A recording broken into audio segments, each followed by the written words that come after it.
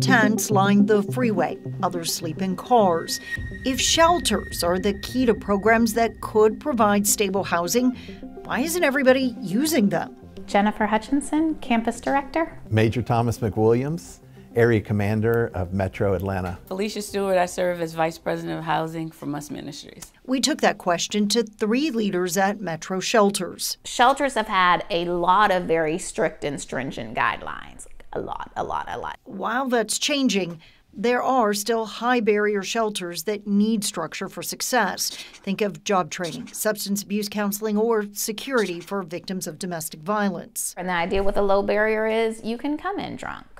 Um, in hopes that you'll get sober that night and then maybe we can have a conversation the next morning. Low barrier shelters try to meet people where they're at, but there are still restrictions. That they need to be able to take care of themselves. If they can't basically change their own clothes, we don't have the staffing for that. Some require an ID, something that often gets lost or stolen when living on the streets. The only thing that we check to make sure that an individual is not on the sex registry.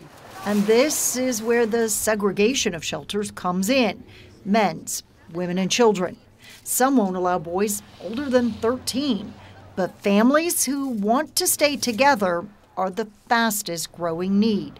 They're being priced out of their homes. But even if someone living on the streets can get in, there are reasons why they won't. Perhaps they don't see the point.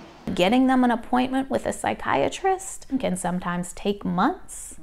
You need to be ready and have the resource ready for the client when they're ready. Otherwise, it's, you know what, I trusted you, and now you can't help me. Well, the community may see a shelter as a climate controlled, comfy bed that comes with food for the night. Others see control.